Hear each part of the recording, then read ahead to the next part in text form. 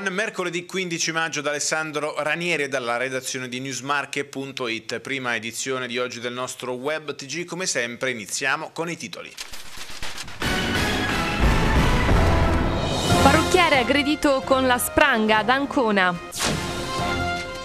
Denunciato un bracconiere a Matelica, i carabinieri gli sequestrano 5 fucili.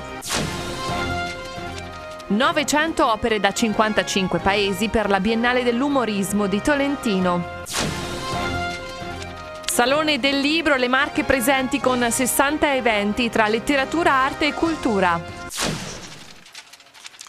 Diamo subito un'ultima ora che arriva da Matelica, un bracconiere di 61 anni, pensionato eh, di Matelica, appunto in provincia di Macerata, è stato denunciato dai carabinieri per aver cacciato di, eh, di frodo nelle campagne della zona in un periodo in cui l'attività venatoria era proibita.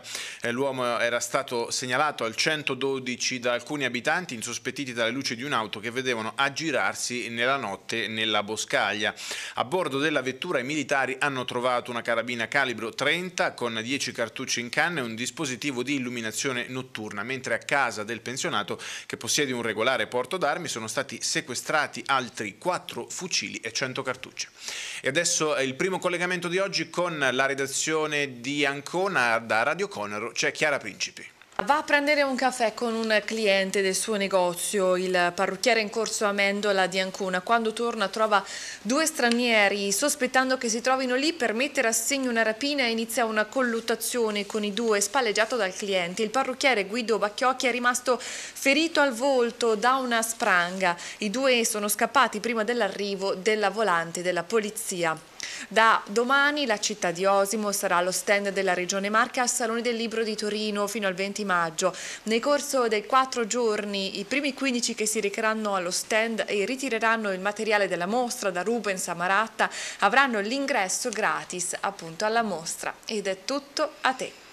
Grazie Chiara, noi adesso diamo un aggiornamento su una, una notizia che eh, vi avevamo già dato ieri sera riguardo una frode fiscale a, a Porto San Giorgio, non ci, non ci, è stato notificato nessun atto e le contestazioni della Guardia di Finanza sono frutto di una interpretazione della normativa che della GDF abbiamo sempre pagato quanto dovuto, circa 350 mila euro l'anno in locazioni, dopo aver rilevato la società della precedente gestione, quanto ha riferito ai giornalisti Basilio Ciaffardini Giardini, eh, rappresentante di Marina di Porto San Giorgio SPA, la società di gestione dello scalo turistico San Giorgese, oggetto eh, recentemente di accertamenti da parte delle Fiamme Gialle, che si dice tranquillo.